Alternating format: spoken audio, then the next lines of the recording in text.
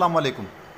Viewers and audience आज जो मैं अपडेट लेकर आया हूँ, वो है एक नोटिफिकेशन के हवाले से। आपको पता है कि जो फेडरल गवर्नमेंट है, उसने तो 10 परसेंट सैलरी इंक्रीज़ का नोटिफिकेशन जारी कर दिया।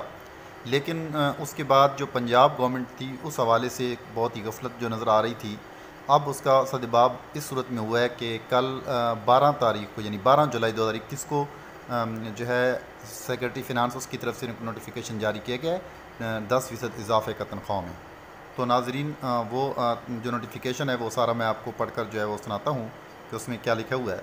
तो वीडियो में आगे बढ़ते हैं, लेकिन उससे पहले अगर आपने मेरे इस चैनल को सब्सक्राइब नहीं किया तो अब इसको सब्सक्राइब करें और साथ लगे बेल आइकन पर क्लिक करें, ताकि इस तरह की वीडियोज़ और उसके नोटिफिकेशन जो है, आपको मौसू होते रहें और आप इससे इस्ता हासिल करते रहें।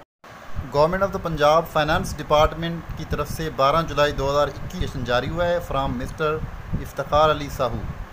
Finance secretary जैनों ने जारी किया है और ये आप देख रहे हैं कि 15 पॉइंट्स दिए हुए हैं। आगे जो भेजा गया है grant of ad hoc relief allowances दो two thousand twenty one ad hoc relief allowance two thousand twenty one at the rate of ten percent of basic pay to the civil servants of Punjab government यानी दस फ़ीसद जो इजाफा है ad hoc relief दो हज़ार इक्कीस पे।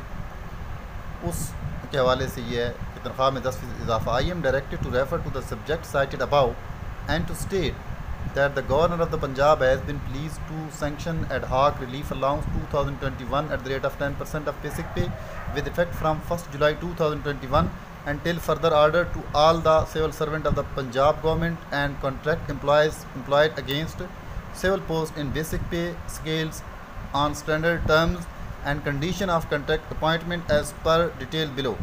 Number 1. Be subject to income tax. Number 2. Be admissible during leave and entire period of LPR except during extraordinary leave. Number 3. Not be treated as part of annulments of the purpose of calculation of pension and gratuity and recovery of house rent.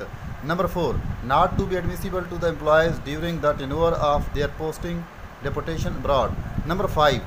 Be be, uh, be admissible to the employees on their repatriation from posting deportation abroad at the rate and amount which would have been admissible to them had they not been posted abroad.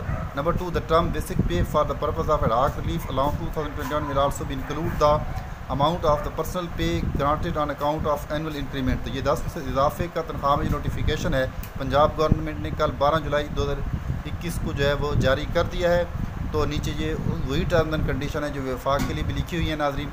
तो ये आज की हम update थी, जो मैंने आपके गोश गुजार की। अगर आपको मेरी ये वीडियो पसंद है, इसको लाइक और कमेंट कीजिए। इसी अपडेट के साथ अगली अपडेट तक के लिए आपसे इजाज़त चाहता हूँ। अल्लाह हाफ़